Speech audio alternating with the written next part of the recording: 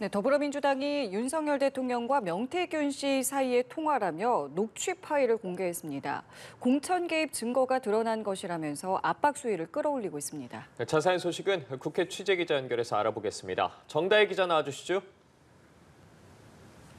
네, 민주당은 조금 전 긴급 기자회견을 열고 윤 대통령과 공천 개입 의혹의 핵심 인물인 명태균 씨 사이의 통화 내용을 확보했다고 밝혔습니다. 지난 2022년 5월 9일 윤 대통령 취임 하루 전에 이루어진 통화라면서 녹음 파일을 공개했는데요. 당시 통화에서 윤 대통령이 공관 위에서 들고 왔길래 김영선 전 의원이 열심히 뛰었으니 좀 해주라고 그랬다고 말했다고 민주당 박찬대 원내대표가 밝혔습니다. 이어서 그랬는데 당에서 말이 많네라는 목소리가 나오고 이에 명 씨가 평생 은혜에 잊지 않겠습니다라고 답하는 음성이 공개됐습니다. 민주당은 이 통화 다음 날 김 전 의원이 실제로 공천됐다며 불법 공천 개입의 증거가 드러났다고 주장했습니다. 그러면서 여당을 향해 김 여사 특검 명씨 진상조사에 협조하라 압박했습니다. 명 씨가 윤 대통령 부부와의 통화 내용을 다른 사람에게 전하는 게 아니라 이 당사자 사이 특히 윤 대통령의 육성이 공개된 건 이번이 처음입니다. 민주당은 녹취 파일의 진위를 당에서 책임지고 확인했다고 밝혔고요. 다른 자료가 더 있다면서 추가 폭로도 예고했습니다. 이에 대해 국민의힘과 대통령실에서 아직 공식 입장은 내놓지 않고 있습니다. 한동훈 대표는 관련 질문에 우선 말을 아꼈고요. 당 관계자는 현재 상황을 파악하고 있다고 전했습니다. 당시 공관위원장이었던 윤상현 의원은 연합뉴스TV와의 통화에서 누구에게도 어떤 외압이나 압력을 받은 적이 없다고 밝혔습니다.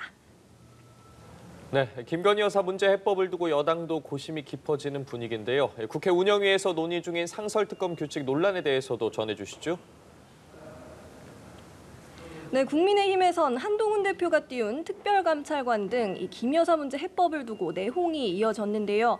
최근 친한계뿐 아니라 친윤계에서도 출구 전략이 필요하다는 목소리가 나오는 등 어떤 식으로든 쇄신이 필요하다는데 공감대가 커지는 분위기입니다.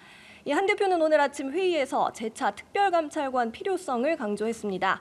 과거의 조사보다는 미래 비위를 예방하는 데 중점을 둔 제도라면서 민생에 집중하기 위해 지금 특별감찰관을 임명해야 한다고 말했습니다.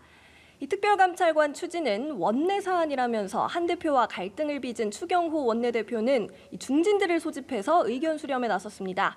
최근 오세훈 서울시장과 김기현, 권영세, 나경원 의원 등 중진들이 당정 모두의 변화를 촉구한 데 이어서 어떤 논의가 오갈지 관심이 모이고 있습니다.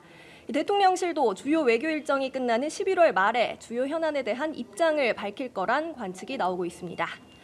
이런 가운데 국회 운영위원회는 오늘 상설특검 규칙 개정안을 의결할 예정입니다. 대통령이나 그 친인척 관련 수사 때는 상설특검 후보 추천위에서 여당을 배제하는 내용이 골자인데요. 야당 단독 의결이 예상됩니다.